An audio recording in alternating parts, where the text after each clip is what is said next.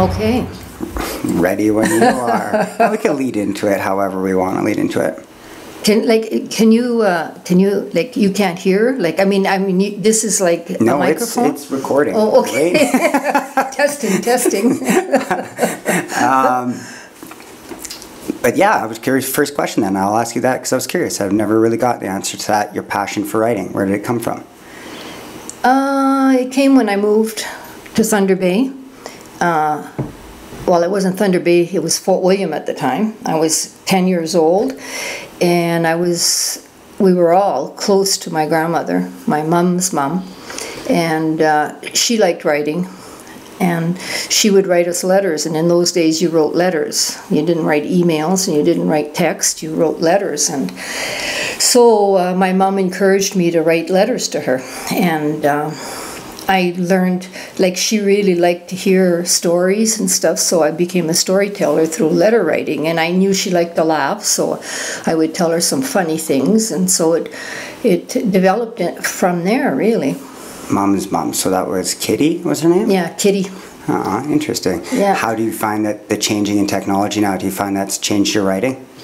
Like how it's typing, it's emails, it's Facebook. And Yeah, I don't There's write something different much. to getting a letter, right? You know, it's a Oh, special yeah. feeling when you go to the mailbox and you open that up and someone took the time Oh, to write a letter to you. Yeah, yeah. No, it, it's very different now. It's uh, it's um, safe and in, like I don't know. When, when you wrote a letter, you had to think about what you were writing, so there was intention with it. Now it's just you know, let's get this over with and get my message across, like whatever my information across. But there doesn't uh, doesn't seem to be the intimacy in that a letter. Maybe maybe intimacy isn't the word, but the thought process in it. You know, it's quick. It's like the McDonald's type version. You know, let's get satisfaction fast Something because it was kind of nice to wait for a letter and wait and then you finally got it and like you would I would run to my bedroom and read it you know it was like a gift mm-hmm. yeah non-disposable too, I guess, eh?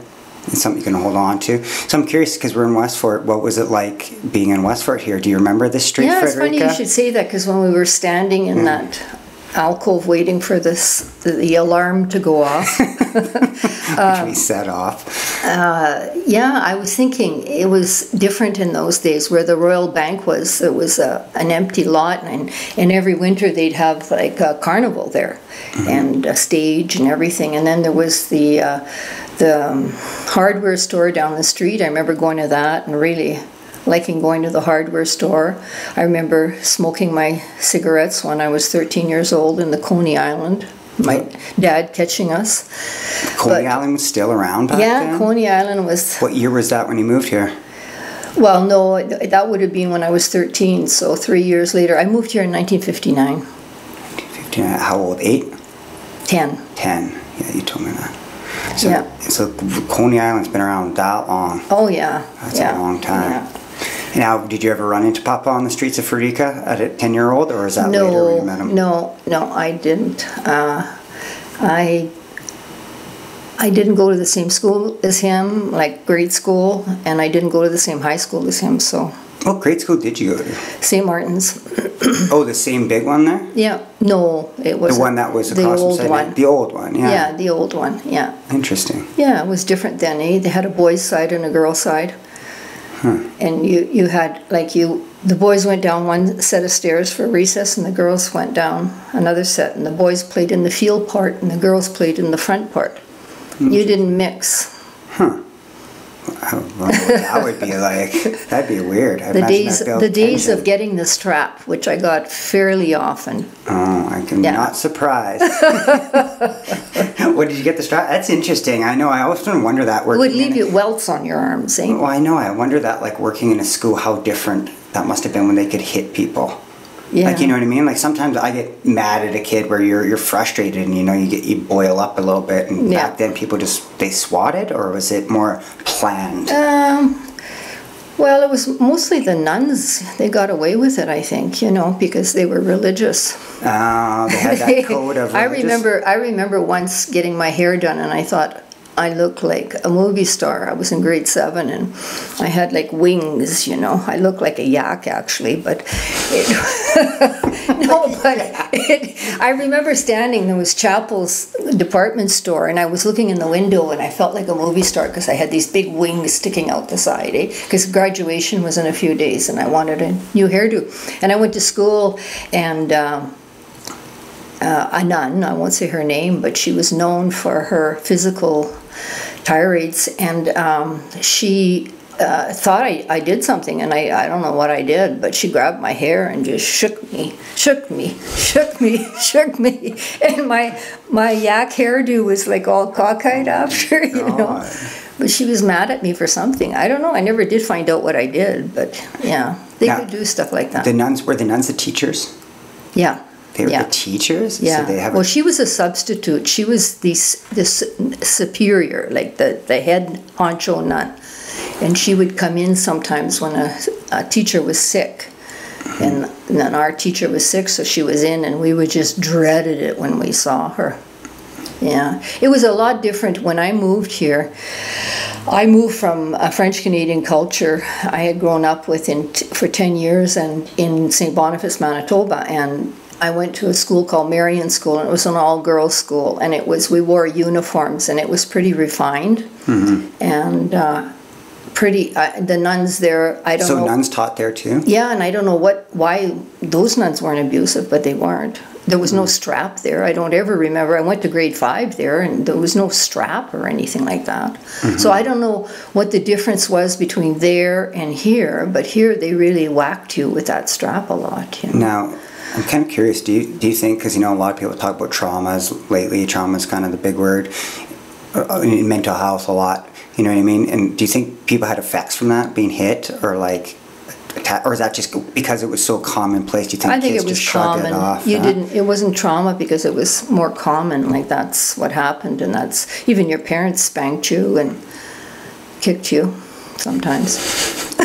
So I wonder when. Do you remember when? Were you around in school when it went from nuns teaching to an actual educator who was, you know what I mean, qualified and educated in teaching? Well, when I was going to school back then, it was uh, it was private. Like you know, well, not actually in Winnipeg. It was private. Maybe that was it. It was private schools. Like you paid to go to school. Like you, you what? It's not part. It was partly subsidized, but here, uh, it, when it became subsidized or pretty well funded by the government, it changed. There was a lot more restrictions and and people had to answer to things, you know, the, the, the people in charge.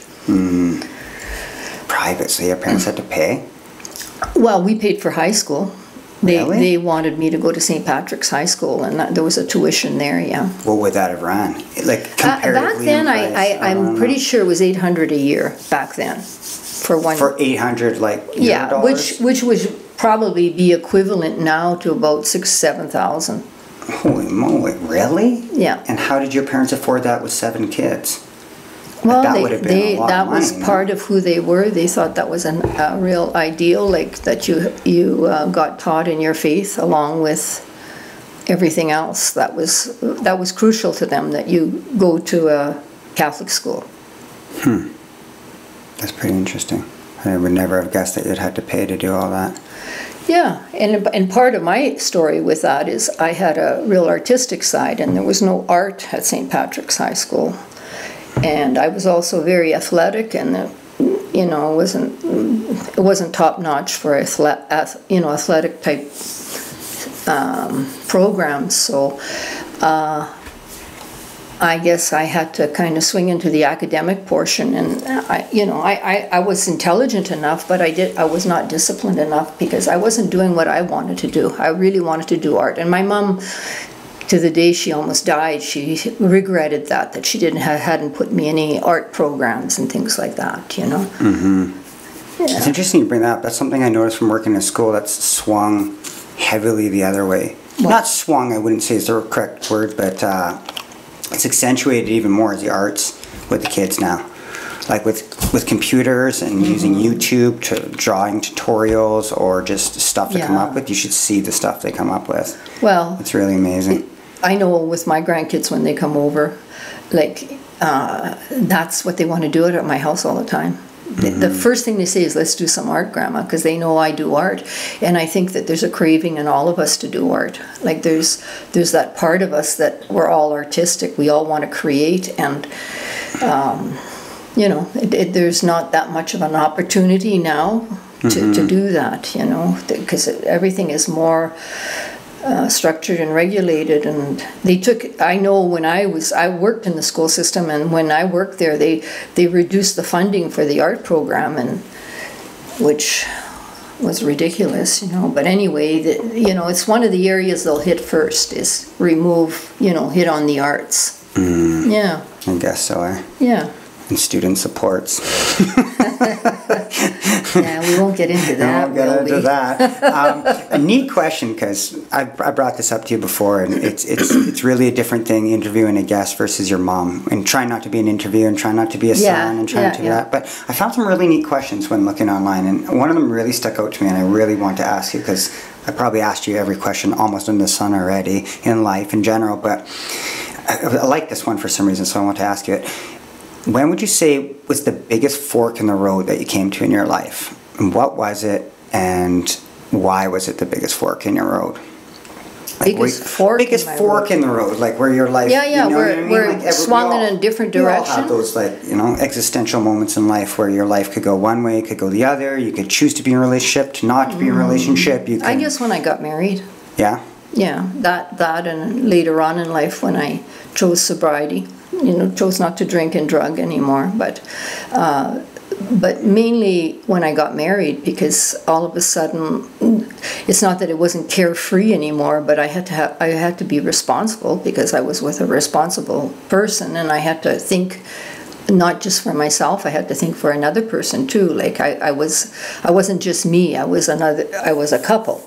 So i couldn't just do what i damn well please because eh, you know from i i don't even remember from say 16 till 22 i think i had about 10 jobs or something you know like i when things when things didn't kind of it's not that they didn't go my way but you know i just wanted to move on. I, I just so i couldn't do that anymore. I had to stick to something and uh, think financially and think um, you know all sorts of responsible ways. So that was a big fork for me because uh, i was pretty footloose and fancy free and as you know this story, and I'll tell it, is your father and I were dancing in Mexico. We had been married about 40 years, and um, we're now married 48. And we had been married about 40 years, and we were dancing in our condo to a song we liked, and and. Uh,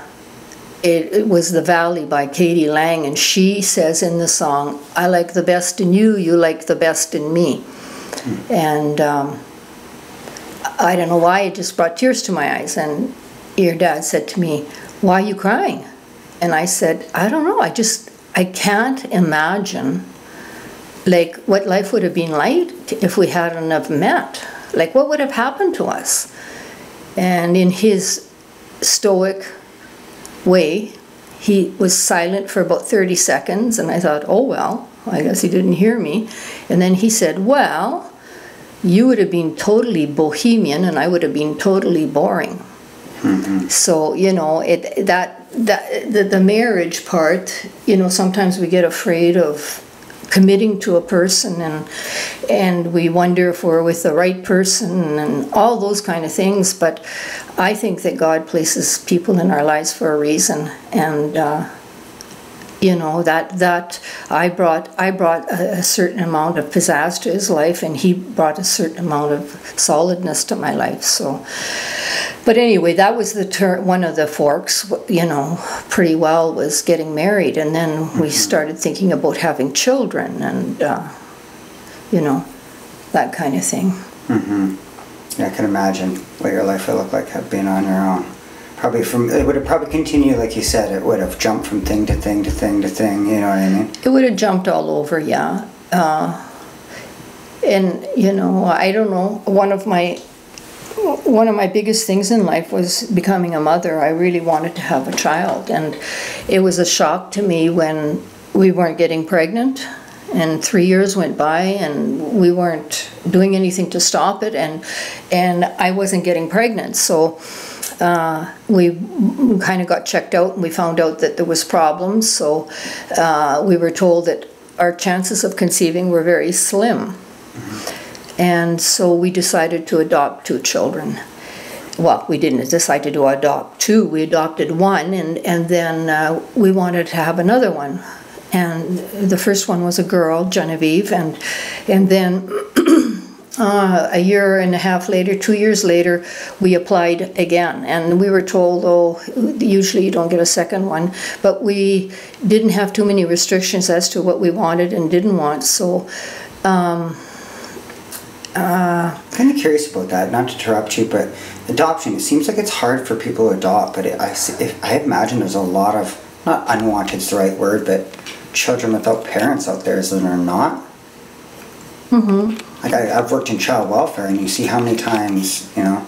Yeah. Kids are not necessarily abandoned. But there's not that many people that. I mean, there are people that adopt, but there's more children up for adoption than there are people that are adopting. So, Well, but they I they still have to. It's done through agencies, so they have to have a lot of legalities involved, and a lot. We were screened like crazy. I, I wish they, you know, in a way, people that have children naturally could be screened like that. We had to answer tons of psychological questions and go to groups and everything uh, in order to adopt, but anyway, we were very, very fortunate to get a, the sec- second child. That's Bridget, and uh, and then when Bridget was um, a couple of years old, uh, I got pregnant, and it was like a miracle to me. You know, it really was, and I just thought, wow, this is unreal. So, and that was Sean, and and then a year and a half later, I got pregnant again with Todd, and then um, and then three years later, I got pregnant with you. And then three years later, I got pregnant with Julia. And I remember very, very distinctly laying in the bathtub with my big belly sticking out of the water with Julia. And I was nine months pregnant. And your dad came into the bathroom and he said to me, I don't care what you say, I'm getting a vasectomy. and I went, high five. I, I honestly say, I don't my opinion, I, I think it's, it, there's probably some m- medical issue, and I going back to the brain, I always conceptualize things, but if they vasectomy guys when they were 18, and then when you decided to have a child, they could reverse it. Yeah, You yeah. what I Sometimes mean? they can't. Like, as sometimes they can't. control? Yeah. Oh, sometimes they can't. What But you you, see- semen frozen? But you you're what you're not for you you're forgetting, Mark, is I was in a different era, and I, I can and I won't say who, but an elder in our family saying to when I suggested, you know, because we were told you better guys better do something. That's five kids, you know, and when I was pregnant with you, but. Uh, you know, I said, well, he could always go for a vasectomy, and that was not very normal in those days. It was like the woman got her tubes tied, and the woman getting her tubes tied was a major surgery, and I guess so. you know, so it was like I, I'm not going to get into the, you know, the male thing, but it was like uh, Pretty. I, I, I like it was asking a male something that you know you shouldn't be asking them to get a vasectomy. It should should be the woman in charge of that kind of thing. You know. That's quite old now if you think about it. In Oh, 80 yeah. Mm-hmm. years, that would have been over 30 years ago. Uh, so, yeah. 40 oh no 30, 30, yeah, yeah. 30 yeah So, times have changed. yeah yeah Um, now, you mentioned, and I'd be curious for you to expound on that. You said, I mean, you used the word God and when it's talking about you and Papa. And I know you've ascribed, I don't know what, so hard to put a word on it now religion, spirituality, God, belief in a higher power. But what was that about that? I've heard you often say that, you know, that that kept your relationship strong. well it it, sur- it, it? it it surfaced the very first christmas we got married in in april and the very first christmas we had a, a really bad fight on christmas eve and and uh, I don't even remember what it was about, to tell you the truth, but I remember we were in our little basement apartment and you know, the gifts were under the tree and we weren't talking to each other and all this. And then I don't know who suggested, probably me, but that we pray together, and we did. Hmm. And there's something that happened, and and we always, both of us, always sought out spiritual growth. We went through things like Cursillo, marriage encounter. You know, we we did. Uh, uh, at one time, we belonged to a prayer group. You know, but it was that was part of our relationship and and we, we're like anybody else, any other other humans. We've had long periods sometimes of doubt and walking away from diff- different things you know and, and, as far as religion and then going back and but always finding uh, a comfort and a support in um, in knowing that there's something bigger than us in our relationship mm-hmm. and that's helped us through a lot of things in our life mm-hmm. You hear that about a lot of people who stuck it out, huh? Mm-hmm. I know myself in question a lot about relationships. You hear about a lot of people who you'd think, oh wow, those two people look like they had it together 40 years and mm-hmm. they were at the brink many yeah. times. Yeah. It's very natural. And I think I think children see their parents and they think they're just kind of because I remember talking to your younger sister there, Julia, uh, about that is. Um, you know, she named a couple in my family that they seemingly had the ideal marriage, and I went, You got to be kidding. Like, I'm not going to start spilling the beans here, but I almost walked out on them because they were fighting so much.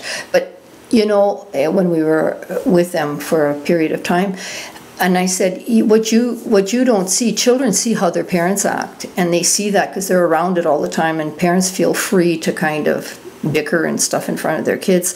But a lot of people cover up in front of other people. So what you see out there is not not reality really. And most families have their their fights and most family have lots of tension and whatever but they you know if the if the basis of the family is love mm-hmm. well it gets back on track somewhere along the line. And I mean, you can attest to that, Mark. I'm we've had we've had situations in our family where I just went, "Whoa!" You know, how's it ever going to get back on track? And it always does. And and I have to say this: that your dad and I, every night, pray together for our family. You know, and that's part of our.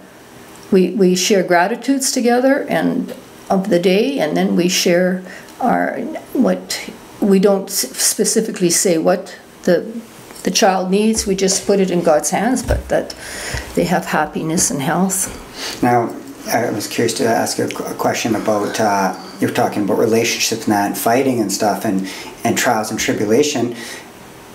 And as an outsider looking at your parents, as my grandparents, they always looked like they had a pretty Bonnie and Clyde in the religious fashion, mm-hmm. but tight relationship. You know what I mean? They yeah. didn't look like they fought. They didn't look like that. Did was that just my perception, or as someone seeing it from firsthand experience, did they have those challenges too?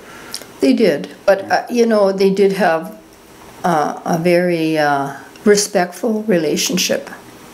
I, I would have to say that when I look at my parents, like they both had respect for each other. They might be really pissed off at each other, but they had they handled it in a respectful way. There was incidences, you know, where I saw and I heard. Uh, I actually, uh, you know, it's easy when you get older to start that. You know, because you don't have that. You have a lot of other things in your in your life that are hard to handle, like your health, your your uh, you know la- sometimes lack of intimacy with your partner or whatever it is. But um, I had to talk to my own father about how he was talking to my mom at one point, mm. and I just said I don't like it. It's you've never been like that, and I don't like what I'm hearing, and I don't like what I'm seeing. You know, mm-hmm. and it was very hard for me to do that but uh, you know we had been talking about it as a family way too long like you know oh really that long well for, for months i would mm. say you know and and he and he did he you know he he, he was a humble enough man to take a look at it and curb it you know but it's very easy to get back into that um, I was just in, into a that. disrespectful or into a different attitude yeah. I, I, don't know if it's attitude because because you're kind of touching on the gratitude thing before how important it is to mm-hmm. Papa. And I find myself, I slip into a vein of criticism or condescension or you know mm-hmm. ego mm-hmm. and you can slip into that very fast and becomes a pattern that builds Yeah. upon itself and builds upon itself. Yeah. Yeah, you know, I just, I, I'm very fortunate, very fortunate, and, and you know, because um, I, I don't want to talk about other people in a negative way, but I said to your dad actually last night, I said, I'm very fortunate that I was raised, uh, you know, because your dad wasn't, and I, I'm not trying to bring them in, you know that, but there's disrespect, and I, and and when you don't, when you're raised in disrespect, the way you talk to people, when you're raised in that, you don't even recognize it. It's like a denial system that happens. I was just hearing it in my head. Ah, shut up. words like that. Anyways. Yeah, yeah. So, you know, it just, it, I said I was very fortunate and I'm ever so grateful that I was raised in a, like, there was never, I've never ever heard in my home, like, shut up or, you know, anything like that. Nothing. There was nothing like that. It was always, you had, but to the point that sometimes people didn't speak up either. There's, there's a point that you can get angry and say things angrily. I, I always looked at anger like it was something wrong with it, you know? So I was afraid of it. And uh, I don't know. I guess at this point in my life, I don't. I don't want to live in any type of fear. And, and the other side of fear is trust and hope and love. Like, and that, that's what I want to move to. I don't, I don't want to live like, I don't know. The, you know, this last year was very trying on, on your dad and I in different ways. And um, I came out of it very freed, very freed.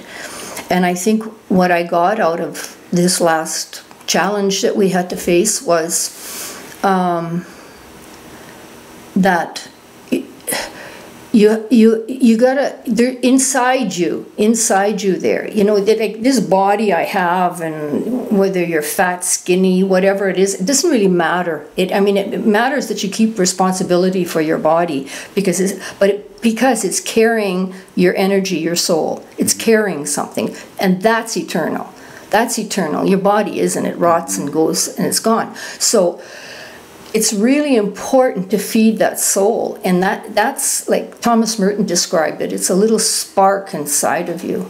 It's a little spark. Mm-hmm. and and you need to go inside in silence in meditation whatever whatever tool you use you need to do that to get to that part because that's the part that that goes on eternally and that's the part that affects other people. It's not my my body's not going to affect other people like mm-hmm. you know within you know like it's it's my energy and what i do with that spark inside of me like you know and and that's called like you know everything is moving to love and connection. And if i live in fear well then i live in in a, a world of entrapment I, and then and that that that's where you attach to things that really don't mean anything. Dick all in life really. Uh, what's her name? Um, Kübler-Ross she worked with the dying eh? and she said that in all the interviews or all the people she talked to as they're laying on their deathbed in their last hours none of them said oh i regret not buying that Porsche, or oh, gee, I regret not taking that job with the government, or oh, I regret. They all, if they had any regrets, it was about relationships and not loving enough. Hmm. So, so to me, that's our goal in life. If you if you want to say goals, is to learn how to love, and if whatever it is that you have in your life, if it's teaching you and helping you to love better, well, then it's good. You know, it's mm-hmm. getting you into that. I think realm. devil's advocate, though. I find people often conflate love with attachment. You know what I mean? Mm-hmm. Love, love can look like two things. You know, there's like the quote said, like if you see a flower and you love it, don't don't pluck it. You know what I mean? Mm-hmm. Because that's that's possessive, right? And so it's a, it's a tricky balance. What love really well, is. Love is letting yeah. go sometimes too, and Yeah. not being holding on and Well, yeah, and that's it. You know, people, you know, you you know, I've gone to twelve step programs, and you know, I think everybody would do well with twelve step program. But that that's what Richard Rohr calls, calls addiction. He doesn't call it addiction. He calls it attachments. When we attach ourselves to something that we think we need, mm-hmm. we need, you know, and and nothing, nothing in life is permanent, mm-hmm. nothing.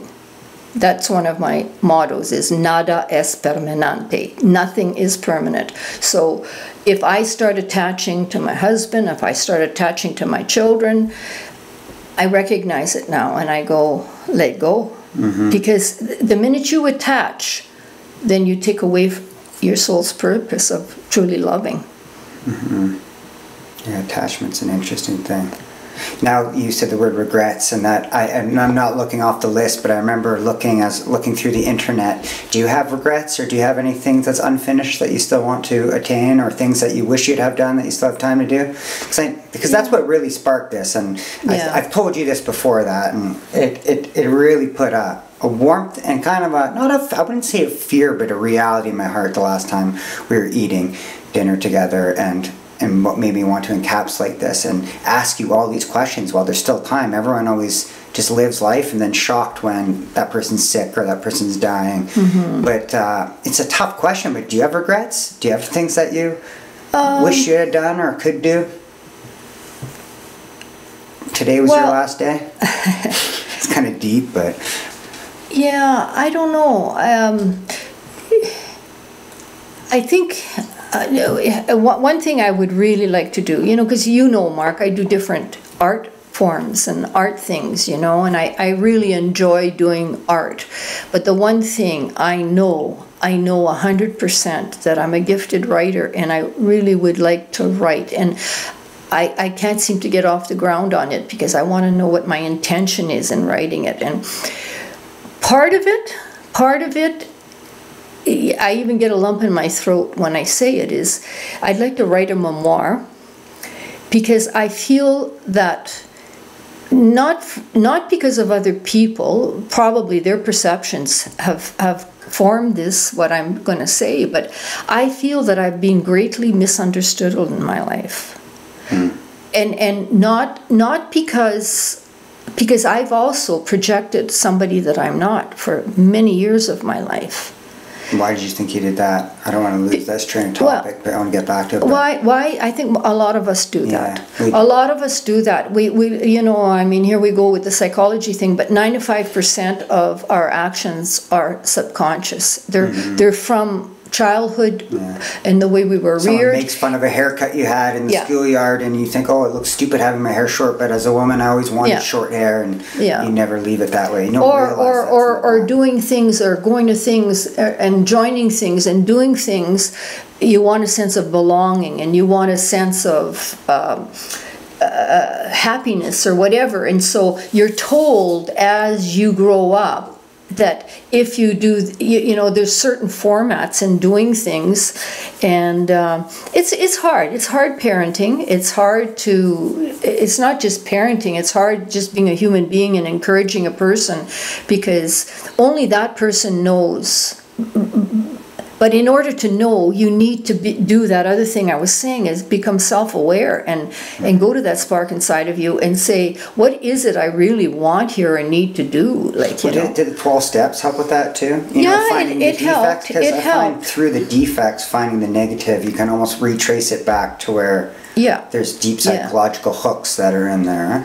yeah. But you know, I, I mean, not not to um, not to misalign or whatever called the 12 steps but i found that it's it's run also by humans so there's human error there and i i feel this is my opinion but and i said i wasn't going to do this but is that um, there's too much emphasis on what you what you haven't done and the mistakes you've made. Like i i have found in the last 6 months a new freedom in myself and i i don't feel like drinking. I don't feel like it doesn't it's not like a thing that's it, because i've looked at the beauty inside myself. I've gone back to making my decisions for what what, what it, it's not a selfish thing. It's more a, a need I have to to honor who I am, and so um, you know it's hard sometimes as a mom to do that. It's you know to call us to all to honesty and saying you know like say if your friends want you to go out, you really don't want to go out. You know that that happens to me sometimes. I I have more of a freedom now to say no. I really don't want to do that right now. I don't need that and enjoy yourself. You know, it, but but the past me was more I wanted to belong, so I would say yes because I go well if I say no too many times then they're going to ditch me. Well, if they ditch me, they were not meant to be, and and and and that's another attachment again, you know. So just to. Um, I don't know the, the freedom to, to be yourself. eh, eh, Regret, um, I have to go back. Just to the writing. I want. Yeah, I know. That's why I want to bring it back to the writing because I was kind of curious. It's something you said, and I think you hit it on it yourself. And you mentioned Jesus in it, and how he how he spoke in parables because no one ever wants to hear a straight up opinion, right? Yeah. No one ever wants to be flat out told what anything is, I guess. Mm-hmm. People tune off right away. I, I, I research and find the most amazing things that I think are the most Mm-hmm. brilliant things ever that I found online. Can you believe if you put this in your body, MSG, it does Yeah. this and this to your, your Yeah. whatever, and people tune right out. But if you tell a story, Yeah. like, you know what I mean? So that, I would wonder what it would look like if you took those intentions of things you wanted to say and and hid them into really meaningful stories. yeah, stories, yeah. That'd be neat. Yeah, you know, I I uh, regrets. I wish it's not so much, and, and this is a touchy subject, Mark, but I wish I wouldn't have been sexually abused when I was 11. I really wish that, but it changed my life because, um, That's a, or is that a regret though, or? well, it's a, it's a regret that it's a, a yearning. I don't know that there would have been more available, and and my parents, whatever it was, a, a, a time that pedophilia was not understood or whatever, but. Um, it did change the course of my life because I don't. U-turn moment, or not U-turn, fork in the road. Would you say that was almost probably Oh. the biggest fork in the road? That was the biggest fork, yeah, because I I lived in St. Boniface. I had what they call, you know, the the perfect. I, I mean it. It was like a, a beautiful childhood. Like we lived on a block. We knew all our neighbors. Uh, I loved my home. My grandmother came over every day. It was a cozy, beautiful uh, we had family reunions. My dad's family were all there. Like it, it was really a, a comfortable, safe place for me. And then my dad got a transfer, which was supposed to be uh, for a year or two, and it turned into a lifetime for, for different circumstances. But we we came to Fort William, and in that time there was a family. Uh, Perpetrator. a, a relative that came to stay with us, and he was a pedophile, and uh, that was in Thunder Bay. yeah, in Thunder Oh, Bay. See, I always, I always interpreted No. the stories as that was in Winnipeg. No, no, and so uh, at at the peak of my loneliness, wondering uh, when you know we're we're. Uh, in in Thunder Bay uh, is what like I say it was Fort William and we're in Fort William and I'm looking out my my living room window and there's blowing snow all over the place and I'm lonely and I'm missing my grandma because I was in some ways closer to my grandmother than I was to my own mother. And missing and lonely but as a child you don't know all those feelings. You just know you, you feel uncomfortable and you don't really know how to talk about it. And that that's when i started getting sexually abused. So that put me into a, a frame of shame and secrecy if anybody ever found out about this because it was my grandfather. So i, I just thought that for whatever reason there was something you know terribly wrong with me or something. And and uh, so I went into a, a oh I hope nobody ever finds out about this. And uh, and then I discovered liquor at that age because my, my dad ran a store. store. the feeling? But touch on the feelings part. Though, mainly shame from it. The shame was, yeah, it, it was disabilitating. It was, it, it caused me anxiety. Like at the minute I'd think about it, I, I'd go, ah, like, and it was like an anxious feeling in my body, you know, so I got to get rid of that. So I learned to uh, do nonsense, is what I call, you know. I, I became a, a, a mischievous child, you know, because it was a diversion from my feelings, and and that got me in trouble in school. And then I started because, and I never had low self esteem until then, and and then I started be, becoming labeled as the troublemaker, you know, because I got I incited my fellow students to do all sorts of crazy things. So. Um, I, I got in trouble and, and you know and then I just I didn't care anymore. I think those were active goals or cry for. Do you think you were? Because uh, my I love this thing that I heard in psychology with especially working with kids like I do is they say usually when they have a big feeling in them they act them out. You know what I mm-hmm. mean? So mm-hmm. and they try to create like you talked about mm-hmm. subconsciously before the ninety five percent. It was almost like you wanted everyone's attention. You didn't want everyone to know, so you wanted everyone to know, kind Yeah. of, not really in a way. Yeah. You know what I mean by that? It's like Yeah. it's almost you're hiding something so secretive that you're drawing. You're doing the well, opposite whenever effect by you know, drawing like attention that, that was one thing in a twelve-step program. They would say your your secrets will keep you sick, you know, and and uh, so that secret followed me, and I started. I remember having, and I never had those in Winnipeg or St. Boniface. I never had nightmares. I don't remember ever having a nightmare, really, and. Um, I started getting horrific, horrific nightmares then where I would scream for my mother. You know, I was 12 years old, 13 years old for my mother in the middle of the night. And uh, yeah, and just mix in religion with that. I thought the devil was after me. You know, it just it was it was a, a really tra- trauma time for me, trauma time. And I've I've done work on myself in that area, and I know I know that that's the trauma. That's the trauma in my life that switched me into. Um, I hate that word codependency, but it switched me into taking care of other people and making sure they were okay. I, I became a, um, a person who took care of other people because I didn't want them to get hurt. I didn't want them to get hurt, you know, ever. And and I became a defender. And oh, I, I would have beat up anybody that said anything bad about any of my siblings, you know.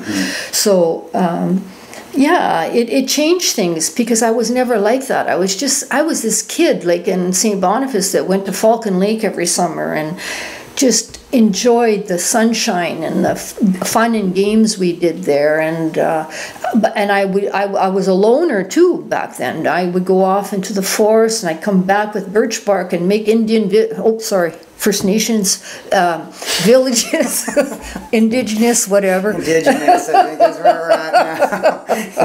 Is it? Is it? I think it's, not Aboriginal. I don't know. I don't even know anymore. Oh my God. Anyways, well, in my childhood, we'd say Indian villages anyway. But uh, I just, I love nature, eh? and I love being in it alone. And then we came to Fort William, and honestly, like, I love, this is my home now, but this is a, it still is, by the way, but not as bad as back then. It's a hard nut to crack. I'm telling you, you have, they, they had their cliques, they have people, like, it's like a, a city with a small town mentality. And you talk about try to fit in here. Mm-hmm. It's really hard to fit in here, and and that you know not to get on the native thing and and you know the refugee or not refugees but people that are come here from other countries. I find my own self being prejudiced sometimes, and I mm-hmm. don't like it. You know, I.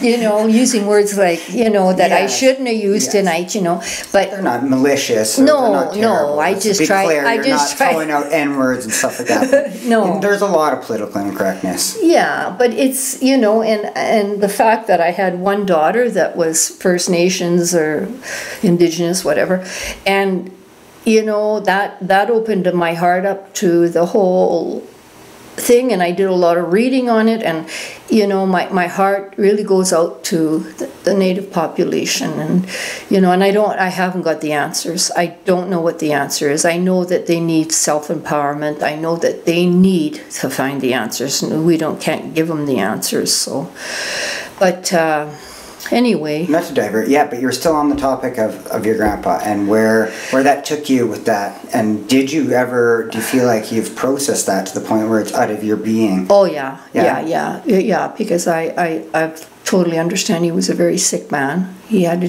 he, there was something, you know, there's something wrong, and I, I actually feel for people like that now because, uh, you know, it was probably done to him. I don't really know. I don't know Mm-hmm. his story, but um, Can't be a fun life, I imagine, and living No, with that secret himself no. or those desires. yeah.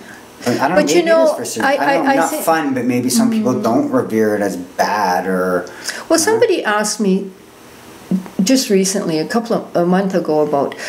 They said, "How come?" And they were comparing me to somebody else, and they said, "How come you've been through more than she has? You've had lots of tragedies in your life, and you you seem to be really happy."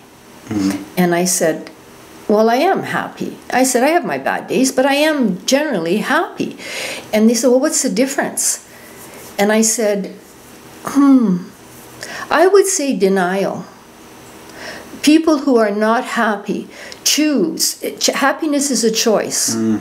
And, and when, when you choose to stay in dishonesty, when you, when you have a definite pr- substance abuse problem or you have a sexual abuse or problem, like you could say anything when you're in denial. If you're denial, yeah. you're in if you have relationship. relationships, yeah. all all of those things. If you and you asked me before, you said the 12 step, did it help you with that? And I said, yeah, it did, because I had to do a lot of introspection and say, you know, you know, a certain situation, well, what was my part in that? So that really helped me, bust me out of denial, you know, okay, take a look at this, quit blaming everybody else. But um, I think that people uh, stay in their unhappiness, like basically they stay in disease. And it can be depression, it can be uh, any kind of disease, really, physical, mental, spiritual, anything, because they're in denial. And I said, I'm not in denial. I, uh, and, and I think I've shared that with you before, Mark, is Anthony DeMello. He's a really old Jesuit. He got kicked out of the Catholic Church and then they took him back in. But um, the Catholic Church has a habit of doing that. But anyway, uh, he said the day, and I, I, I'm just saying it's not verbatim, but it's pretty well what he said. He says, the day that you admit you're a mess and everybody else is a mess, that's the day you move forward. Mm-hmm. And that, that's my thing in life is I have been able to show people that I'm vulnerable. Like, and okay, so you. Vulnerability is dangerous, though. I find a little bit opens yourself up to attack. Do you find that? Like you said, you've Yeah. often been misunderstood in your life. Exactly. Criticized. It come- everything comes with two because, sides. Because when you open yourself up, Yeah. it, it allows for that attack to come in, right? Well, exactly. it makes people, in my opinion, feel threatened. Yeah. You know, because their denial is, is is met now in Yeah. themselves. You know, it's like say you've ex- probably experienced this with your non-drinking. You go somewhere with not drinking at a party, and people start saying, "Hey, what do you think? You don't need a drink. You're better than you know." People get their backs up against the wall almost. Yeah. With that denial factor, because Or they sit down with you and confess all about their drinking. I don't care what people do anymore because I'll be really honest, that's one thing that turned me off a little bit in the 12 step program is you're supposed to avoid people that are drinking and drugging. I don't because you know what? It's not really about giving up the yes it helps. It really helps to lead lead an emotionally sober life if you give up a substance that you're attached to. Yes it does. Mm-hmm. But th- some of those people like they're, they're just as good as I am. Like you know, it's just that they haven't maybe had the opportunities, the graces in life I've had. Mm-hmm. The the people I they did, you know, I, I honestly I had fantastic parents and you know, well you knew grandpa and grandma and I was gonna say, I, they, I, they, I they have had a question. You're, you, you attribute your grandma. You, you, you speak a lot about her in that, but I'm kind of curious to ask you that. You th- would you say you're closer to your mom or your dad, or was it equal, or Oh, was it? I was closer. I was. I was closer to my mom. Uh, Okay, let's put it. I was more comfortable with my mom. okay. I felt more accepted by my mom because at this time in my life, I realize so much how much I'm like my dad. That I wish he was alive so I could talk to him because I know now where his mind's at. Like, I know, but I wouldn't admit that I was like him back then. So it was like fighting myself with him, you know? Because he was very opinionated. I could be very opinionated. And, um, I've curbed that. I've curbed that because I know that it, it, doesn't really matter. You don't change the world with opinions. You change it by examples. That's Anthony DeMello. No, that's Paulo Coelho, or the, the Paulo guy. Coelho. Yeah, Yeah, that yeah, is. The Alchemist. Yeah. Um, that's my favorite book. Uh, I was going to ask you something, but back to your dad and the. Oh, jeez. So, so question I wanted okay, to ask you but about but that. with with the sexual abuse thing, okay, so then then it stopped, and then but I still had that cloud over me and everything, and and uh, it caused a lot of confusion sexually for me through high school and everything, but. Uh, I I don't know. It, a lot of people don't understand sexual abuse, so you know it's it's not something you can go talking to people about. But it's if anybody has, you know, I always I always share that part of my story because it's really important to get help with that. Well, it's like, it, in, especially in the West, uh, we talked about in child and youth work, just the differences in society. Say a nude Mm-hmm. beach, and this is I'm going to go off on a little tangent and Mm-hmm. come back to it here. But like, say a nude beach in Europe, like they don't look at the body as as, as sexual as we do there. You know, like Mm-hmm. there'd be people walking around naked, families, you know, people, and it's not like oh look at let's stare the whole time. But it's really repressed here in the West, right? You know what I mean? Mm-hmm. To the point where people are almost wearing practically nothing now, you know, to, to look sexualized, where it's because it's so repressed. I find Mm-hmm. Yeah, everything's become hypersexualized and or repressed.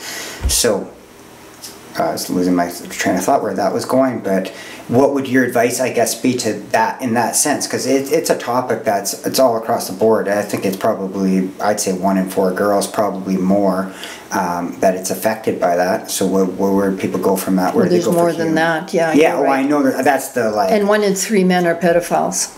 That's the statistic. Well, I think it's gone up to two now. It's, it's crazy, but uh, yeah, it is. And, and, and people think that, um, no, no, no, sorry. That's That's, a wrong that's- I was statistic. gonna say, that's one out, like one 20 out of three pedophiles, or two out of three, I can't remember, because I told you, I, I, I'm really bad on statistics.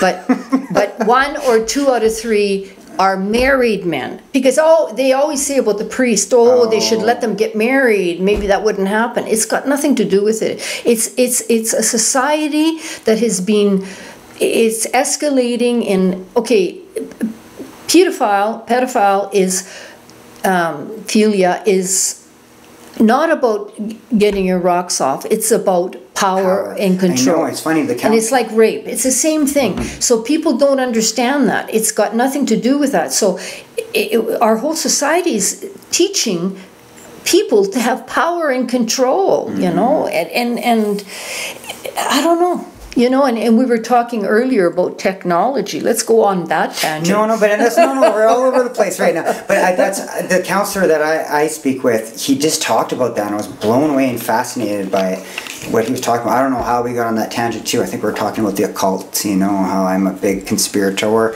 and I like to look into everything. You know, conspiracy. But he said perpetrators they they are generally heavily involved in in, in areas like that where they have positions of power and trust and they're usually lone wolves they're very Mm-hmm. Yeah. secretive in that sense and Yeah. it's, it's very hidden so just a little interesting tidbit Yeah. um, So, you know, so that I carried that all, and, and basically, I would say from, and I'm not going to go into all the deep therapy I had or whatever, but I, I, I gave up. I gave up. I thought, you know what? It's freaking easier to just have a good time than to put some work into anything. Because I didn't think I was worth it. You see, that's what sexual abu- abuse does. It it it fills you with shame and it tells you there's something wrong with you, whatever, you know. So um, I just I I don't blame my parents for not putting me in the right high school. I don't blame anybody anymore. But I do know if you said back to the original question, any regrets, like I would I don't know if that's the original question. I think that's the start, the fork in the road. But I just, um, I, I wish I could have had, I wish, I don't know, and you know, like that's why I'm so uh, uh, adamant about bringing that, like talking about that with children or something, you know, or sometimes I'm a little too paranoid. I mean, it has affected me. I see an old man walking down the street holding a little kid's hand, and the first thought I think is, I wonder if he's diddling with that kid. Like it has affected me mm. in my perception of things, you know, but I do recognize it now, and I just go, okay, don't go there, you know. But um, yeah, but anyway, I I always I think um, I think an important vein that you're going down with talking about that is the addiction piece too. Well, yeah. How, you, how people cover up stuff well, with other you, things in their life, yeah. whether it be addicted to their work, you know what I mean? Yeah. Well, addicted to yeah. food, to whatever, to mask To feelings, anything. And, right? and you know, Gabor Mate, he, he says that, eh, that all addiction is trauma based, eh? Mm-hmm. And and he, he's firm on that, you know, and I agree with that. I agree with it, and I think that sometimes. Uh, See, that's what I don't know. I, I'm I'm really curious about that though, because there was this kid that I dealt with in treatment. I don't think it's there's no confidentiality crossing and talking about this, but he was really perplexed because he just said like. I don't. I came from a really good family. I didn't have anything bad happen. He was just bored. Boredom was his trigger like he just said, I, I, I don't really have any deep underlying passions that I want to pursue. You know what I mean? I just got into it because my friends were going out and do drugs and said, I'll try it. And I thought it was fun. And, mm. and then I mm. tried it again and it was mm. fun. And I tried a third time. And, you know, and all of a sudden I'm in that cycle of, of use well, and abuse. okay, you know? but. Part, he might have been, there might have been stuff there that wasn't. Well, no, no, but the boredom piece, Mark, is what. And, and I'm not I'm, I'm not going to go down that road of talking about the education system, but the education system is failing our kids. I really feel that strongly, okay? And if you look at the Finn, uh, Finland model of education, like it's so different than ours. And, and people start school off kids start school off where they're looked at and say what's their strengths what's their weaknesses like they they they work on their strengths rather than clone them all into you do this, you do this, you do this, and and it's maybe not the kid, you know. See, I, so, have uh, I have a different theory on that from working in the school system. But, yeah. Because I, I I myself have been really hard on the school system with your exact thought. You know, it was it was developed by the German military to you know mm-hmm. create soldiers. It was at the turn of the Industrial Revolution where they needed factory workers, so they needed people smart enough to work the machines. Yada yada. We've all heard the. Well, mm-hmm. maybe we all haven't heard that, but that was the general consensus. A lot of people say, you know, make people smart enough to work the machines, but not smart enough to question the establishment, to want change. You know, I think it comes down to the breakdown of the two-parent family. Personally, I think it's yeah. I, I think it's it's the responsibility of parents. I think if if kids were coming home every night to two parents who were sitting them down and saying, What's your homework?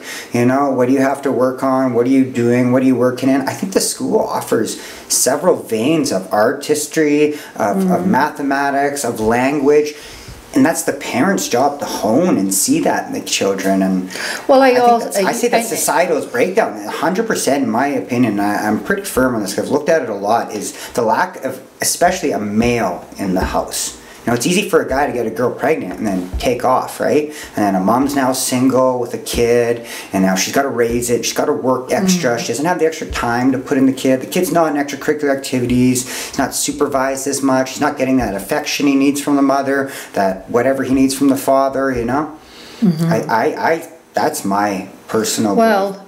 you know, uh, I, I wouldn't want to go back. Honestly, I wouldn't want to go back to uh, you know, the era where I was part of because I was a stay at home mom. Mm-hmm. And it was evolving then where women were more and more getting out into the, a career and getting their kids into daycare that, at that point. And I was I was criticized a lot for making that choice, but I don't regret it. I do not regret doing that at all because uh, and I'm not saying I was the savior or anything. Your dad was a really responsible person when it came to his career and and making sure that the home run and everything. And I was the person at home that met the kids when they came you kids when you came home from school and and asked you stuff and played with you and whatever I did okay? I I could I could do that. And and people say to me yeah well you we can't afford to do that now. No you can't because you got a freaking new car out in the front and you've got a 60 inch television and everything. And I and I I've I've took told you this spiel, you know, we were so excited after 10 years of marriage and children and everything. We, we had, we bought a 13 inch color TV and we thought we had gone to heaven. Like there's none of that now. People, yeah. people get married and they've got a, a house already. We rent, lived in rentals for a while. Like, I don't know. It's just a different world. It's a different world, but that sense of family Mark. That's what do I'm hearing you say. Mm-hmm. There's a sense of family, and Grandpa St. Marie used to talk about that a lot mm-hmm. the breakdown in family. And we have that in our family. Mm-hmm. And again, your dad and I are sitting in the hot tub two, two or three nights ago saying, there is no way in hell our family would have ever survived if we didn't have that strong foundation of family. Mm-hmm we believed in family and a lot of people don't. They they you know well it's evident in the divorce rates and everything else that's going on you know but uh, children are are I, I can't get over the difference and, and I love my grandchildren and I love children period. And that's another thing loving children. I think a lot of people are looking at children now as pets like you know like mm-hmm. they're it, it's I don't know. They're, they're, well, they're looking at it as a responsibility because of the new lifestyle. I would think, and we're we're doing what we said we wouldn't do, theoreticizing and philosophizing and di- and diversifying. But okay, so but no, I, no, it's just it's interesting though. It's it's the consumer generation, and you, everything you said there, I'm guilty of, and I hate it because I work seven days a week and I work my ass off, two yeah. jobs, because I went and lavishly, impulsively got that new car, and and I got the the bought the house, and and it's all time and place. It's pretty age appropriate for my age, but it's living outside one's means, and and I have to live up a certain lifestyle not to, in order to keep that. And then you throw a kid in the mix where someone's got to stay home, and now you got to you know mm-hmm. do those responsibilities. It's tough. Yeah, it, it is. It is person. tough, but it's a different world. Like you know, what I was thinking was, uh, you know, the, not not to get off on the technology thing, but you know. Um, whereas before you, you would phone Uncle Uncle Joe or whatever knows how to do woodwork. You know, I'm going to phone him. Okay, what do people do now? And I'm guilty of it too. You know, they'll pay. No, oh, oh they might pay, but they go on the on their YouTube. Let's see how you hook this up instead of phoning Uncle Joe you know or or you know my wonderful neighbor Aldo you know instead of turning to him which we have and we've developed such a nice relationship with him mm-hmm. you know he's like a relative to us because he fixes things for us well it makes it, that's family mm-hmm. like when you rely on each other but now people go on their phones for everything what's interesting sean gave I don't, I don't think I said this to you my brother Sean gave me a nice compliment about our neighborhood when he was helping Julia my mm-hmm. sister move two doors down. And my neighborhood I have a stepdaughter Miley's 10 and, and Amanda no, maybe rightfully so, so I don't want her outside by herself. I don't it, this neighborhood's dangerous. It's, mm-hmm. it's, unsafe you know what I mean? It gets all those labels because it's lower income. But man lower income still lives in that he, that's where the compliment came in from Sean. He said, "We are moving in Julia," and he said, "I met all of your neighbors." Yeah.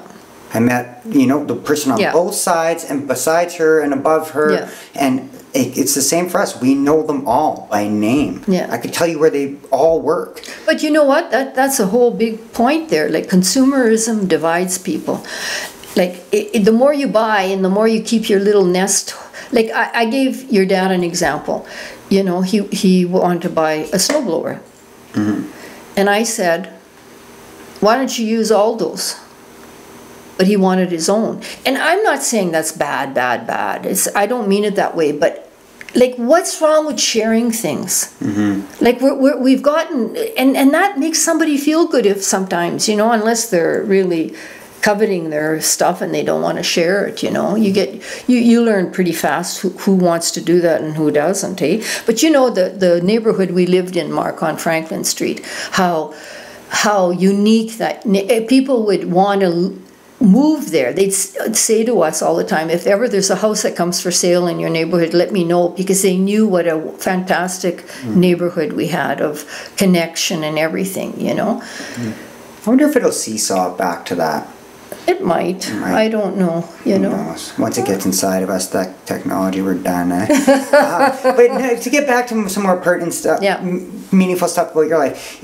Uh, in doing this conversation, you know, trying to tease out some things you would ask, you know, morbidly before someone passes away or whatever, you know what I mean? But your dad, and you, you said, and you, you mentioned him a couple times, and what it would be like talking to him now. Do you have things that you hold inside you that you would want to, you can't say to your parents but would have wanted to still?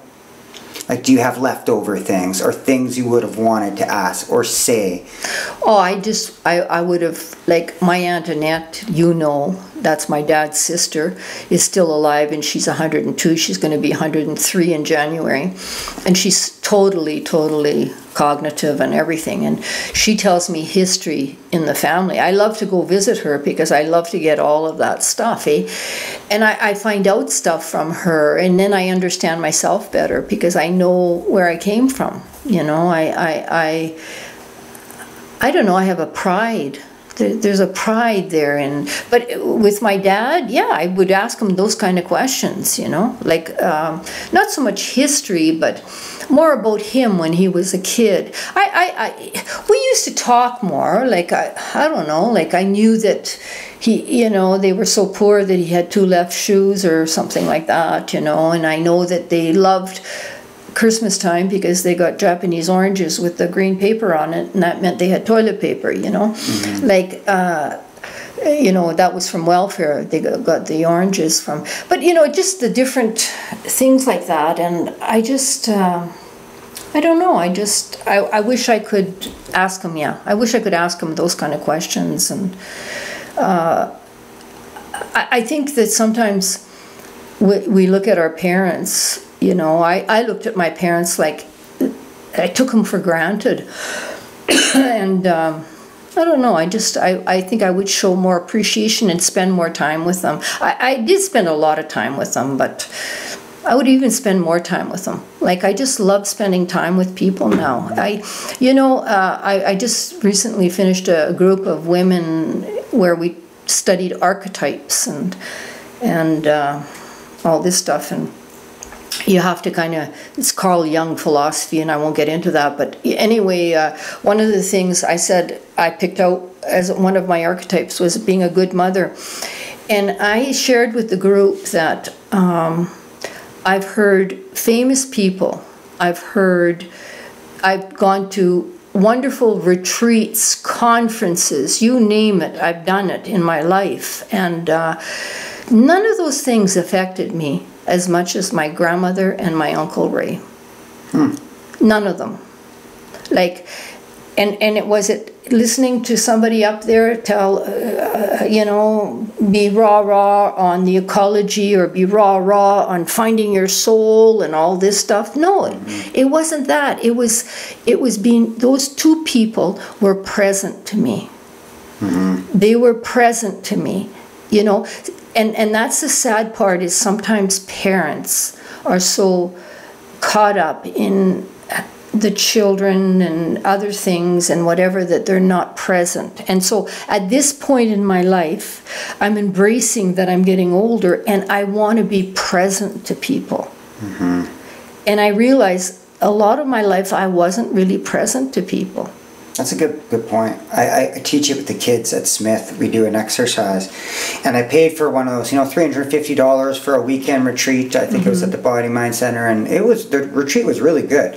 Did a lot of amazing things, but couldn't tell you most of what we did besides the first activity, and it was exactly that. It was five minutes, and you're the recipient, and I'm the speaker, and you don't get to respond. You just mm-hmm. be present to the person and you would think it would create a lot of anxiety in people, but you should have seen people like five minutes was still going and people were still talking. You know, you get a moment of Yeah. awkward silence where Yeah. oh, what do I say here? What do I say? Okay, and I'll just talk about, but you just jibber jabber and it was the aha moment for me. I went, holy shit.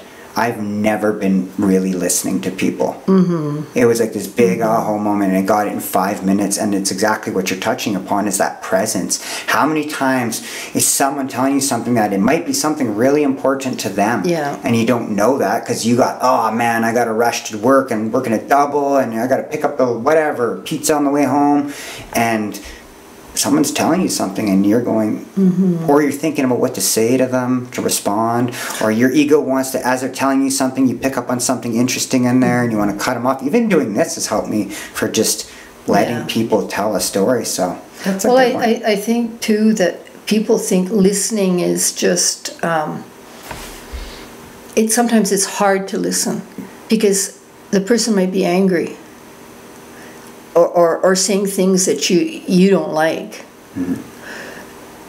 Eh, That's when it's really important to listen because behind those words are always something. And, and I just have a little quick little story your dad and I got into this argument. This is about a month ago, and we were both looking at buying something that we shouldn't be buying. You know, is that another motorhome no, no, no, it wasn't a motorhome. It wasn't a motorhome. No, no, I know you're joking. Uh, no, it was a, a, a trailer out at Lac des Mille Lacs of all places. Yeah, yeah. But anyway, they were asking thirty nine nine, and guess what? It's reduced now to fourteen nine. But anyway. Uh, so anyway, they sidetrack. But anyway, we were looking at this, and and your brother came over, Sean, and and and he goes, "Yeah, Mom wants to buy this trailer," and I'm looking at him. I'm going, "What is he doing?" Like he's the one that pointed, you know. So it would just.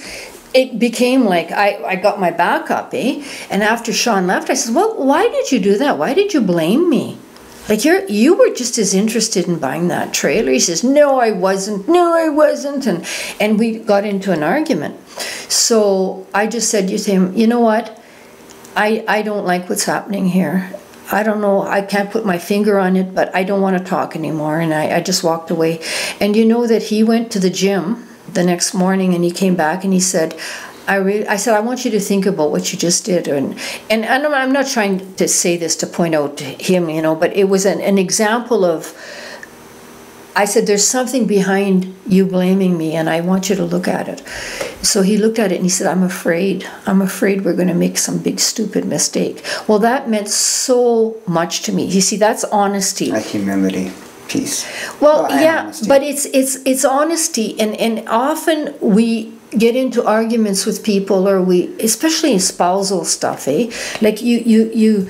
Uh, Get your back up and everything, and you're not really listening to what the other person's saying. And sometimes you can't meet their need, you know. But you you you need to acknowledge what they they're really saying. Like you know, I don't know. It's just I, I've been able to do that more and and I wish I would have learned this years ago in my marriage, but I'm doing it more now, and and it brings more peace into a relationship, way more peace.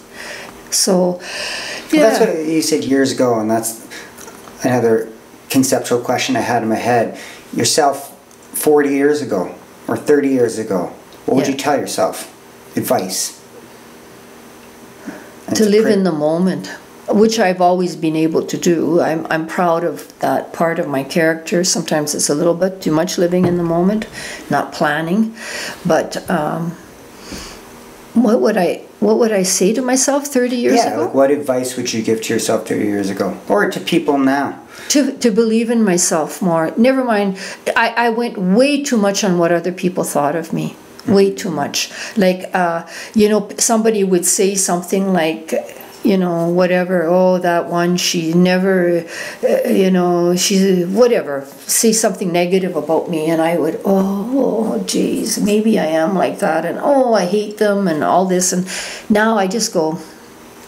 Frick them, you know, like no, I'm not swearing. I'm, I'm on a new trend now. I'm trying not to swear. But no, I just said, you know, it, I, I I think uh, in my art room downstairs, I have three pictures. I have one when I was about two, and I have one when I was about eight, and another one I think I'm five or something. But they're all.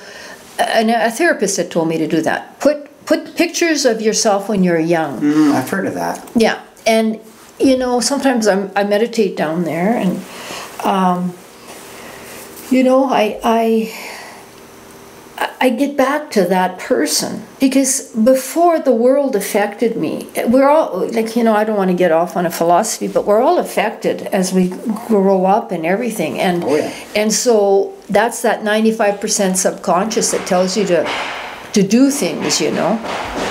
I think someone's there, Jeremy. Um, do you want to go check that out? Somebody's knocking. Someone's knocking quite intensely on the door.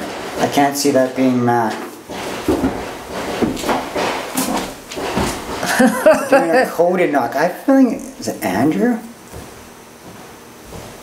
Anyway, Yell, Jeremy, if you're in danger, we will come. I know Brazilian Jiu Jitsu. I'm a purple belt. I'll talk to them. I'll show them about love. Uh, we're shooting podcast with Mark there? Yeah. Oh, it is Andrew. Oh, he's he's coming Andrew. here. He's coming in. Oh boy, this is my big. You're ruining it. You're Come on, ruining it. Andrew. it's one of those days. It's, it's, it's living in the moment. Andrew. hey, look who's on the podcast. Come on in. Get in Do here. you realize we're Get in here. right now? Yes. How's the weather looking? I looking? told out? you you should interview your mom. I know. We had I, we had a gap spacing to fill, and I, I Yeah. wanted to double this with, You're on with shooting right the now. You should be the feature. it's amazing. I was just leaving work, so I thought I saw your Mark, car. I know. We It's so funny. I thought it was to I thought it was one of the neighborhood people because we set off the alarm and people were like, "Oh, what's going on out here?" And people were yelling. So I was like, "Oh, It's the awesome. people are back. What are you up to? You can." I gotta run home. Actually, I gotta put my daughter to bed. So I just thought I, I just thought I'd say hi. I saw your heard Mark. No, Mark no told me. Mark told me what a good daddy you are. Oh, did he? Nice. Yeah. Yeah, we were just talking about that at- right before we came here. She, that's when I was like, Good. said he's a very dedicated. Uh, yeah. awesome You could sit and watch. You could be the our audience. You know what I would normally, but I gotta. I actually I'm have What- to What's the weather look like? I'm hoping to get the It's raining. shots. Is it still raining? Yeah, I wouldn't do it today. No, No, it looks good though. I know. That's why I, I rocked it tonight for you. Awesome. Looks good. We'll get it done. Handsome devil. Thanks for popping by, Andrew. Mark the Nice to see you. Nice to see We're you gonna leave too. this in I here. can't wait to listen to listen to this one. See you. See you, Andrew. Oh, that's funny. Oh, boy. If, if, you know what that reminded me of? What? 233 North Franklin Street. I, I, I don't know if I should tell the story or not, but it reminded me of Andrew barging in. Not the plug toilet one, hey? No, that was me. um, we had a friend who bartended at the Fort William Curling Club, just down the way. You know, it's on Vickers, and we live on Franklin. And eight thirty in the morning, that door's going bam, bam, bam, bam. Exact same thing is happening, and I go, "What the hell is going on down there? You're gonna wake up." It's probably one of my friends. Are gonna wake up everyone in the house. So I run downstairs. And it's sure enough, it's Andrew. He comes running in, and he says, "I woke up in the curling like."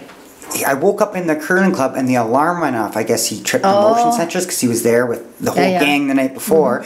And I guess in the night's festivities, ended up falling asleep in one of the chairs. So when he woke up, the alarm was going off. so he ran all the way to their house because the same situation probably would happen. You Yeah, know, like that happened yeah. outside of Westford here. The police Lots of came. things but- happen at two thirty three, eh? yeah. We were talking, uh, that's a side note, but Julie and I were talking about that house.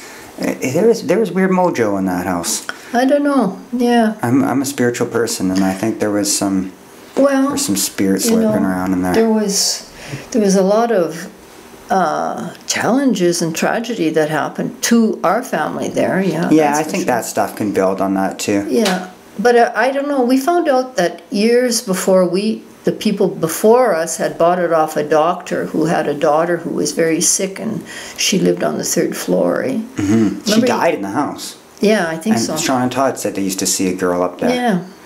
Ooh. So maybe we'll cover a couple of topics. Probably get what time you got there, just out of curiosity. Uh, I don't have my watch, my glasses on. Oh. Let me see. Okay. I think it's ten after eight. Is it? Container free. That's not too bad. Um, we'll co- we'll cover a couple more things that I want to ask you. Um, well, we were kind of on that where I said, what would you advise? I guess for people now. You said live. It kind of coincides with what you were talking about before I came, but like living in the moment is would be your advice, or what would you pass on to kids? I guess the world's going to be changing very much by the time you know twenty years pass. Yeah. But Well, I think acceptance, I think I, you know, I always talk about that, but accepting situations and people and things the way they're supposed to be. Like not not so much try to change them, but accept them. And that doesn't mean become a doormat. That doesn't mean, you know, uh, whatever, don't be silent, don't say anything. It doesn't mean that. It just means accept. And there's a big difference when you accept something. Oh, okay. Okay, yeah, you know, like if you can, acceptance for me is when I separate from the other person and the situation. That's not me. Like, that's there. It's out there. It's not me. Like when I make it part of me, well, then I attach myself to it, and then it becomes, you know, where uh, I take on all those feelings and whatever, you know. But acceptance is a big one. Um, Self awareness.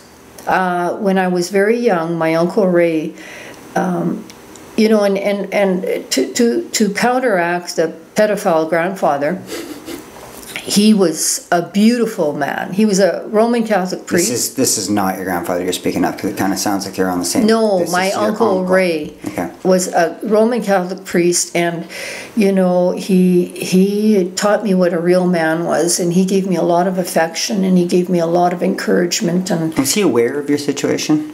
I don't know You don't know. because we never talked about it. We mm-hmm. the only I popped it out of the bag when I was thirty years old, and you know, uh, to my mom and dad. But uh, but yeah, I don't know. Um, he he said to me, and I can still see myself sitting with him. He said, "You know that you have way more self awareness than anybody I've ever seen at your age." I was a teenager at that time, and I always did, and I always had that quest. I always had that quest, that spiritual quest to figure myself out, to figure things out. And uh, one of, one of the best best books I ever read, my dad gave me to read, was The Power of Positive Thinking by Norman Vincent Peale. And you know, later on, people plagiarized it and called The Power of Now or whatever. What's that called? Power of now is the Yeah, most current you know, it's all it's all based on that, you know, Mm-hmm. except that the the uh, power of positive thinking had a, a Christian spiritual bent to it, but yeah, but um, it, it's just to to think positively, to live in the moment, to accept, because uh, if you don't, you might as well shoot yourself. Pretty extreme. Well, you would seriously. Oh, wow, that's- you know that. that. Read, listen to the song. You know how you, things that have gotten me through in life is music. You asked me that before, but music, um, my sense of humor. Mm-hmm. That is crucial to me, and that I grew up with that sense of humor. We love stories, we love to laugh, and sometimes it, it was a little over the top. Like you know, we would start laughing, like we'd laugh at funerals. Like my grandmother died, and and the one I, I love dearly, and we we go to the to, to the coffin, and and we're all like my mom and her daughters and my brother are all around the coffin, and we're looking at her, and she's got her glasses on, and somebody said, "Why she got glasses on?" So it started us kind of laughing, and then I bent down and kissed her and I said, Oh my God, she's really cold. And my mom said, Well, they just took her out of the freezer. And we just couldn't stop laughing. and everybody thought we were crying up there because we're going like this, you know, like they can just see our backs and we're all like trying to hold in the laughter and laughing. But that's one thing I grew up with lots and lots of laughter. And that's so important in life. Like, not to take things too, too seriously, you know, like you know, it's hard sometimes because life gives you stuff and you know the stuff we were given. I lost my, my grandson, my very first grandchild, I I he died at five years old of cancer, and uh, he was living in our house at the time. Um, that was very hard, and uh, you know, different deaths in between there, but but especially my 30 year old daughter and your sister was full term pregnancy and had a freak heart attack. And we lost both her and the baby three days later. They were on life support and uh, things like that challenges that came our way that uh, people and, and there's more more to the story. I, I, I don't divulge any confidentiality in saying bridget's story because she's on the internet and speaks all over the world now. Um, she, she's actually going to budapest in september to speak Really? but, yeah and um, so anyway, she um, she went down a, a road of prostitution or street work and uh, came out of it after her son died, my, the grandchild that I lost, and uh, and uh, turned her life around and. You know, there's a lot of really good stuff in the world. But anyway, what I'm getting at is um, I think that if I could say anything about our family and about me is I'm resilient and you you kids have all been really resilient through a lot of stuff. And that hasn't made you that's made you a good person and it's because of the choices you guys have made. Like all, the choice like like people will hear our story sometimes and go holy cow, like how did you guys do it? I don't know how we did it, but I do know that we laugh. I Well, do I know. can say drugs and alcohol helped me out for a lot of years, and and it helped me out too, Mark. Mm-hmm. But I mean, then you know what, what, what, what I thought was a friend and a help became uh, pulling me down. So Mm-hmm. I, I, that's why I decided. And I don't judge anybody that. I know I've seen people in recovery look back on their use and they don't even look at it negatively. They say that that, that was great that I had that. Mm. Yeah. that. That was my friend that, that I needed. No, I That- needed That that. was my band-aid that, that Yeah. kept the wound sealed, you know? Exactly, So- exactly. You know, and I think, you know, I, I think we're going we'll, we'll forever have addiction in our world. Like that's part of human being, being a human. You know, if but I mean, I'm not going to get into the world thing, but. Um, yeah, but anyway, it, it, it's it's resiliency and, and learning to laugh and not take things too seriously and um, um, I don't know. This I- like I can't even say enough on these last six months or so in my life how they've done to me. They've made me accept like like I I you know I've I I was just went camping with a girlfriend in in the states there. Just I bought another motorhome. But anyway, uh, Which number is it? number seven, Number lucky seven, Mark. but anyway, um, I looked over at her at one point. She was talking. I looked over at her, and her her cheeks were all wrinkled here, you know.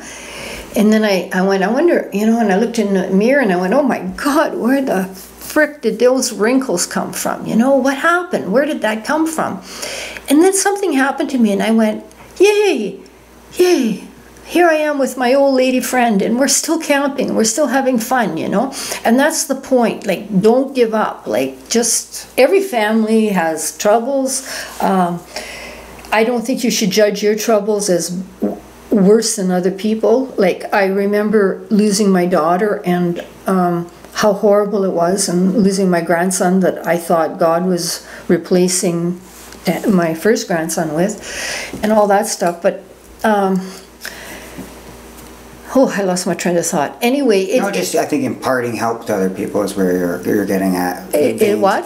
Imparting help for other people. Yeah, and and not giving up. Like don't give up. Don't give up. Like that's you know sometimes you want to give up, but don't give up. It's it's just part of life. It's part of human suffering. Like that's part of being human. You gotta, you know, you try to make the world better, and but always come from a place of love and not fear. I, that's my biggest biggest thing is what I got this last because uh, you know sometimes things get totally out of control in your life and you see things in your children that are totally out of your control and and to just hope i carried a rock in my pocket for a long time the last six months and it had the word hope on it and uh, you, you have to hope Because if you give up hope, like I said, you might as well shoot yourself because it's it's not fun. It's you live in anxiety, you live in anger, you live in resentment.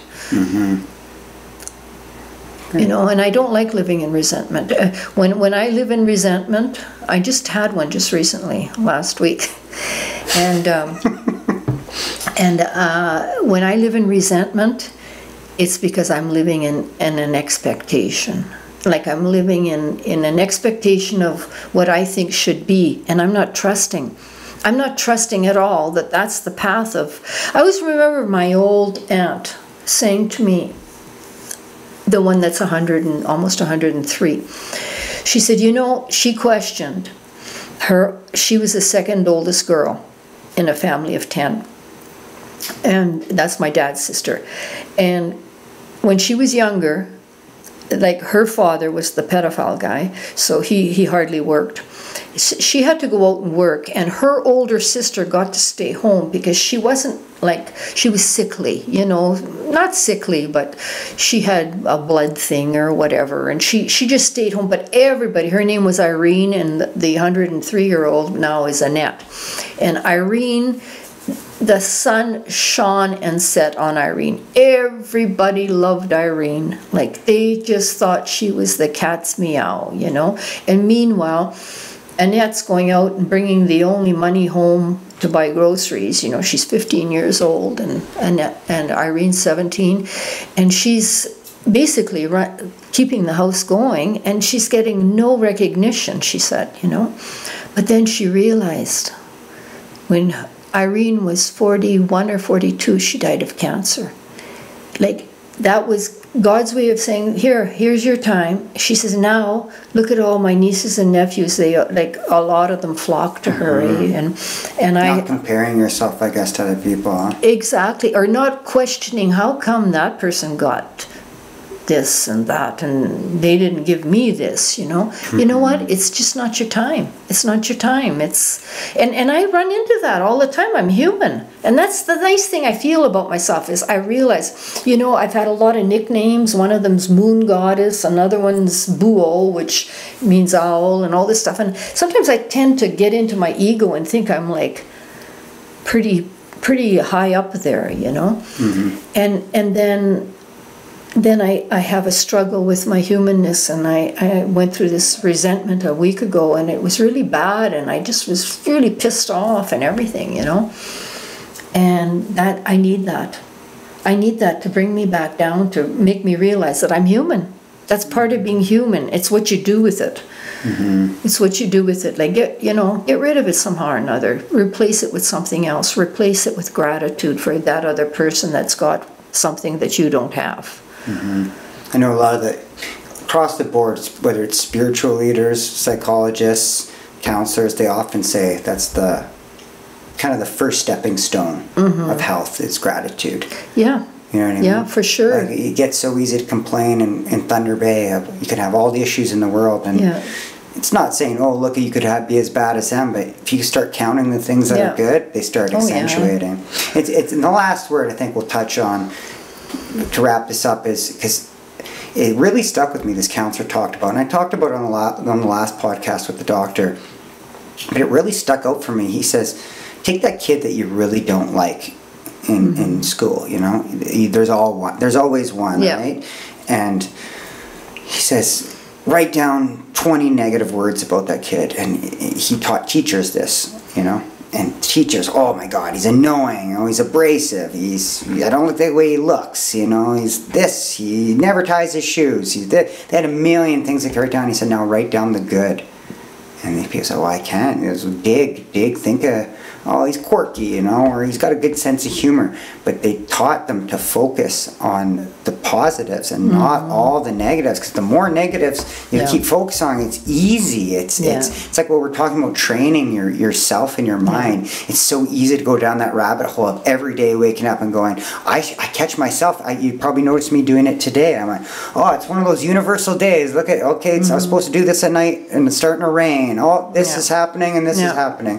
It's, oh, it's one of those days where everything goes wrong. Well, no, it's not. It's just a regular day. It's what I'm choosing to look at, right? Exactly. And I think that's where you were imparting before. we Well, that was we started another- this is, is encouragement and encouragement goes along those lines because it's taking Mm-hmm. it's looking for the good in someone and and and, and watering it. and encouraging yourself. I think sometimes we, we, you know, with my Catholic Christian upbringing, I was so focused on helping other people.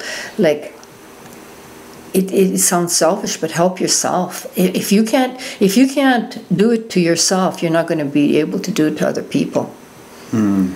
So, like you know, I'll I'll and and I, I whenever I do it, like I say, it's my Catholic upbringing. I go, oh, you should be thinking of the other person. No, think of yourself. And if you're in a if you're in a good mood and you're you're doing what's good for you, it's going to vibrate off to the other person. It, it it's not necessarily making other people feel good. It's feeling good yourself. And and then that rubs off on other people. Eh? It's um, yeah. Anyhow, Wow, we touched on a lot. Yeah, I think, I think yeah. we're, we're right, running on the two hour Yeah. mark, and that's where I like to usually yeah. cap it off. But But you know, for people for people who don't know, you know, in case you make this public, Okay. no, uh, is Mark is my fifth child. I had six children. I had two adopted and four births. I think we kind of touched on that, eh? Okay. And uh, and then I've I've lost two grandchildren, and I now have seven grandchildren. And uh, one of the most beautiful gifts my daughter left behind for me um, was when she died. She had an eight-year-old daughter, and uh, that eight-year-old daughter is now 22, and she's still it's like having my daughter around when she's around me. I just I, i'm so grateful that i have that you know? A lot of people that's what i was going to say and i got sidetracked imagine.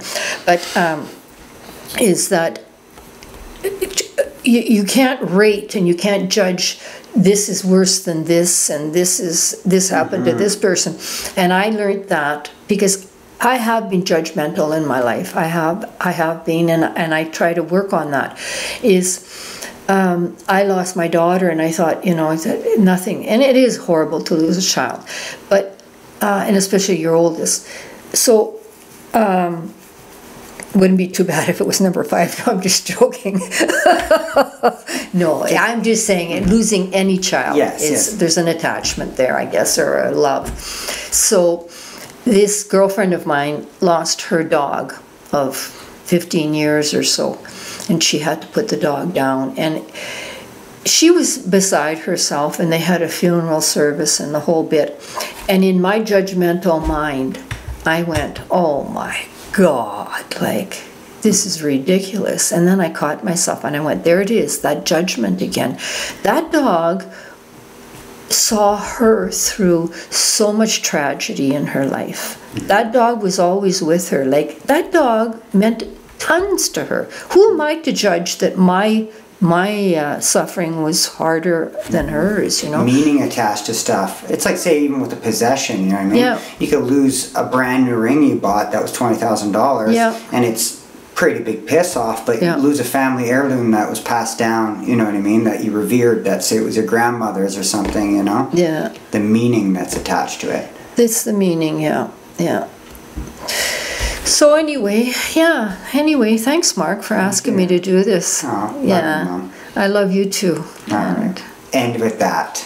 Okay, I want to see more. I know. No, I'm there's just always joking. more I'm just step, but we're gonna start dragging on.